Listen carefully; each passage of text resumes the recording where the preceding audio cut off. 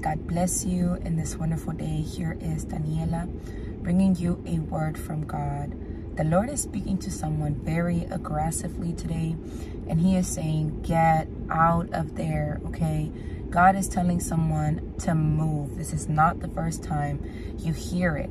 But the Lord is saying you find yourself in a place that is nothing like what I have promised you, okay? There is delays of promises. You've been asking God, why are things not coming to pass for me, okay? This is the video that's going to confirm that the reason for that is because you need to move, okay? God has given me a vision. And in this vision, I saw an individual and he was, or she, was running on the sidewalk, almost like towards the direction that all the traffic is going and there was a lot of traffic like the cars had just stopped and again this person was running I saw that they were headed towards maybe like a BMW and a loud voice said just that this is nothing like what God has promised us. Like somebody was saying it, and as this person was running, it was like a revelation to them. And again, they were running, right? So I feel like the Lord, the fact that I'm seeing this person in a community right and not seeing them somewhere else could be God telling you you got to run okay away from what is not from the Lord. And me seeing them towards a BMW can mean two things. It could mean literally God is going to help you get a car or it can mean God telling you like vehicle means transfer transportation and move okay? Me hearing the voice say just that right this is nothing like what the Lord has promised us is the Lord saying I don't know why you're still there right? If you're in a place that you're not producing good fruit, that's one of the biggest signs that God has something else for you. Because God will dry up a place. He will make you uncomfortable purposefully in an area for you to wake up and know that you deserve better, okay? That you deserve better.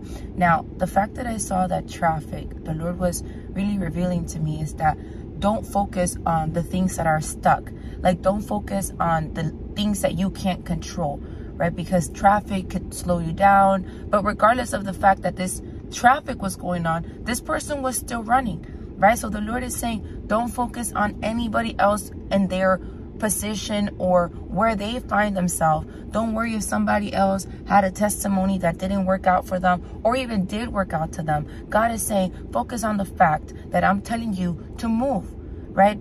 For Lot's family, they had to just get out of there, right? There was no time to question, to think. And God is saying, just get out, okay? Move from the place that you find yourself in, in acceleration towards what the Lord has for you, okay? Towards what the Lord has for you. God is also telling someone, you know, don't be upset if I'm not answering certain petitions because you're not in the place where I already told you to be. That's what happened to Lot's wife. She became salt.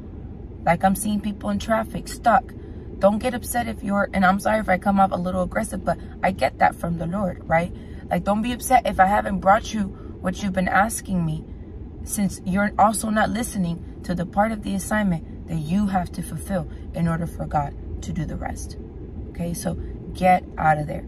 Whoever this word is for, this is a confirmation. And the confirmation the Holy Spirit said is that statement.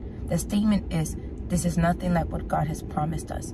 So you might have been telling like, God, you promised me this. You promised me that. Why am I not seeing it? What's happening? This is the revelation of what is happening. God is telling someone to get out of there. Okay, trust the Lord. Always take this into prayer. Okay, for God to further re reveal to you and what's going to happen. You should ask the Lord this. Open my eyes. Open my spiritual eyes Help me see things the way that you see it. Help me see why you want me to move out. Help me see why you want me to get out of the friendship. Maybe also God could be telling, but I really feel like it's a physical move. Right? Tell the Lord, show me why. And God will open your spiritual eyes. And you'll see the principalities that govern a certain area. And you'll say, in this principality, there's drug addiction, there's poverty. And because of that, I'm struggling with this right? Whatever is around even your family, if you're living with family or if you're living with roommates, right? God will show you what they're struggling with and how it's impacting you. And the Lord will tell you, this is why. Okay, this is why. Okay, take this into prayer. And I pray that God confirms to you that this is what he has for you today. God bless you.